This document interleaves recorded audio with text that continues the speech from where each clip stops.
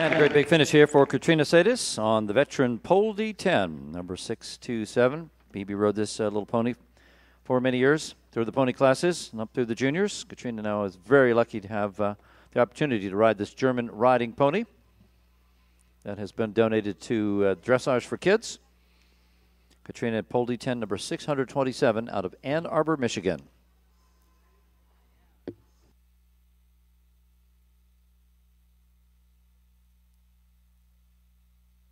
As I'm sure uh, you heard, and uh, we'd like to uh, again reiterate to the riders in this division that we will have an unmounted award ceremony here at the Rotunda at 3:15. The top six to come back for that at 3:15.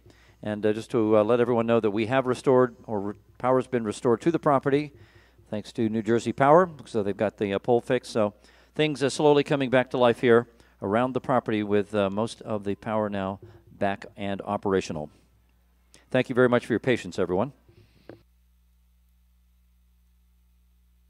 Well, up on the board, look at that. Good score in, and Katrina takes the lead on the veteran Poldy 10, 70.410. And that is our first score into the 70s in the pony division from the judge at E, 68.974 from Peter Hall.